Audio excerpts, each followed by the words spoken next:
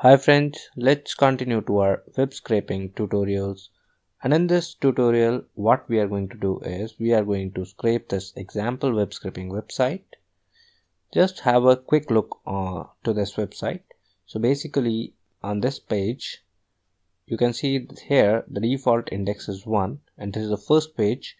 It has 10 countries and every country name has a link and it has previous and next buttons so when we click on any of the countries you will see a lot of information related to that. Okay? So if we click on next we'll see another set of 10 countries. So what we need to do is we need to go to each country and we need to extract the information which is inside that right? And this we need to do for all the pages.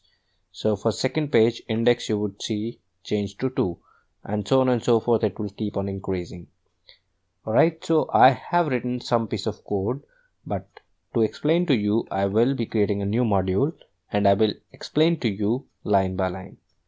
Right so let us create a new sub procedure let's say scrape example website. Okay so first of all you have seen our previous video tutorials where we have launched internet explorer we have done some sort of scraping.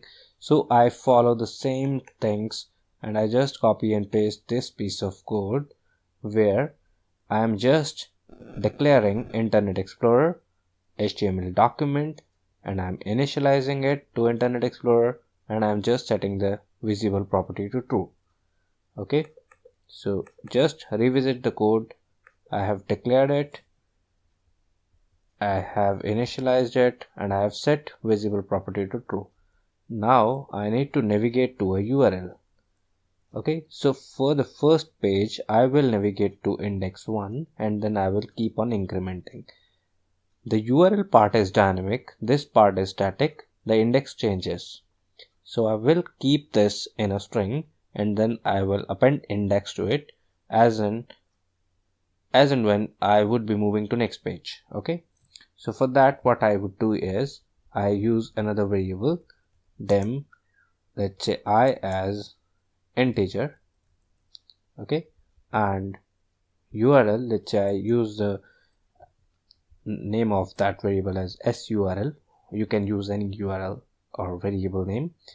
Equals that's my url I copy and paste here right and followed by index i okay? So initialize i to 1 right? So you can declare surl as string. All right so now we need to navigate. So ie dot navigate surl and i. Okay? So you have reached to this page. Now you need to wait for this page to load you have navigated to it, but you cannot perform any action on it until this page is loaded. So again, I refer to the previous videos where we have used these statements to apply wait until the browser ready state changes to complete or IEBC state is not false. So I copy again this piece of code and put it here after just navigation step. Alright, what next I have done here is now I have a flag here. I'll tell you the purpose of this flag. Basically, I do not know how many countries are there, how many pages I need to iterate through. So I just set a flag to true and I will change that flag to false as and when the scraping ends. And I will keep on moving into that loop till that flag is false, true. Okay, so I set the flag as true and I put a condition here while flag is true I want to stay inside. Okay? So let us create this structure here. Flag is true initially and put a while loop. While flag equals true.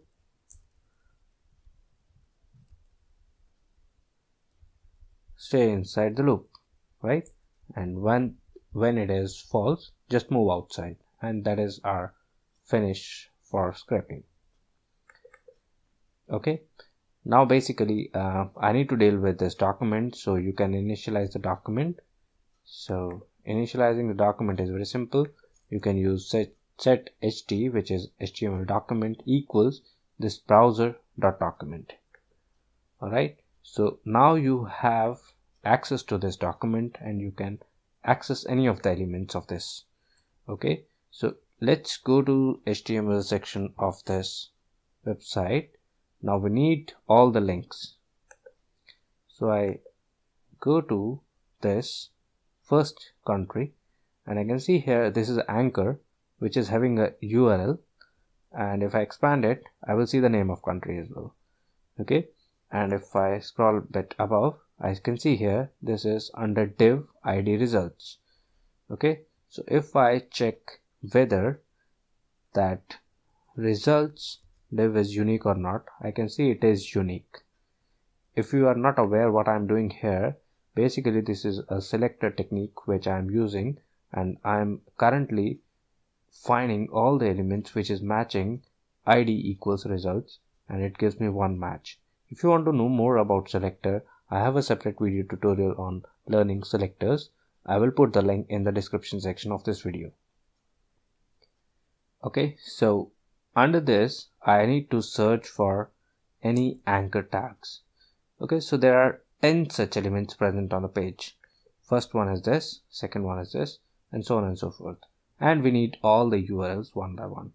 Once we are done with these 10 we'll move to second page and then we'll repeat the process so that is what R scraping is in this case. Alright so I set elements equal this ht.get elements. What I will do here is I'll write the statement for you. So set elements. Elements is not nothing but an object which is holding all the elements matching the criteria. So ht is html document dot get element by id which is results right? We reach here. And then under that we were searching for all the elements matching tag name as anchor. Okay so we have all the elements here. Now we also need to take care that this do not get stuck into an infinite loop. So it is important to put a exit condition here. So we can put an exit condition that if elements dot length equals 0 in that case simply change the flag to false. So that's our exit condition. And we can mark it here like exit condition. Okay? So that makes the code readable. So what we have done is we have all the elements now and we have exit condition now we need to iterate through all the elements one by one. Let's say for lm in all the lms we have not declared all these things that we are using here. We can declare it later. Okay so let's first iterate through all the elements. So for each element elements let's first print on console. Debug.print lm.href okay. And you can also print lm dot inner text.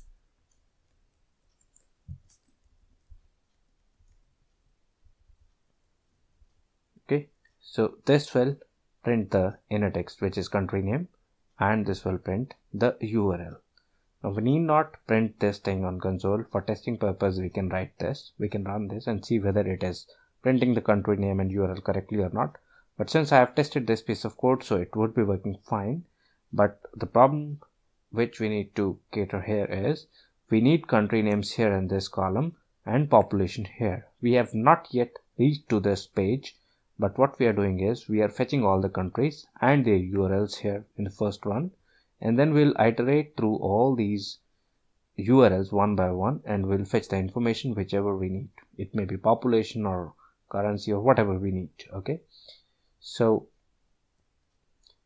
now we need to have all these country names and urls here in the cells of this excel file right? So basically i need to iterate through uh, these not iterate basically I need to write to these cells one by one. Okay so it is important to find the last available row which is having data. So last available row we can use lr equals cells rows dot count comma 1 and excel up dot row okay plus 1 so what we are doing is cells rows dot count I reach here to this cell comma 1 first column rows dot count this cell I'm referring to okay then dot end excel up. I want to move to end in upper direction which is this cell dot row. I want to fetch the row number which is 2 to 2 and then I want to add 1 to it which is 2 to 3 so that's how I will always be having next available row where we can write information. If we do not have anything here I can simply use the same logic that cells rows dot count comma 1 end dot excel up which will take it to second row and then it will add 1 to it and then we'll speak about row 3 and here it is going to write. Okay? So we have reached to the last row where we can write and then cells lr comma 1 dot value equals lm dot inner text which is country name and cells lr comma let's say 10th column or any other column which you don't need. I have done one mistake. It's value so value equals lm dot href. So this is how we are going to get all the country names and their urls so that would be the first one. The last thing which we need to do is now once we have all the information from one page all the urls and the country names we need to move to the next page. Okay? So we set this elements to nothing because we are done with the first page and then we add a delay of 5 seconds let's say. This delay is basically for a purpose that website do not block us.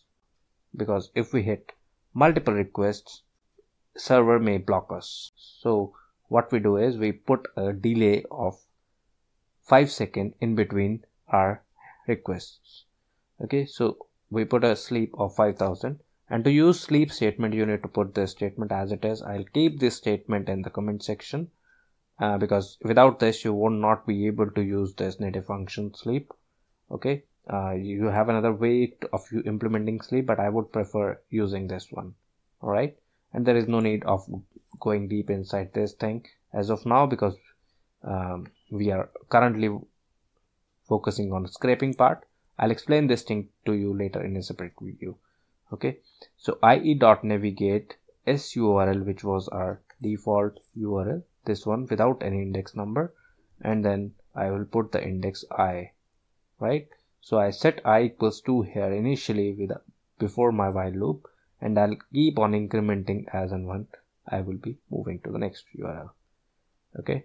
So that's how I will be iterating through all the URLs and I will be having information of all the pages. Let's run this piece of code and see what happens. We have it blank we run it. It opens first page.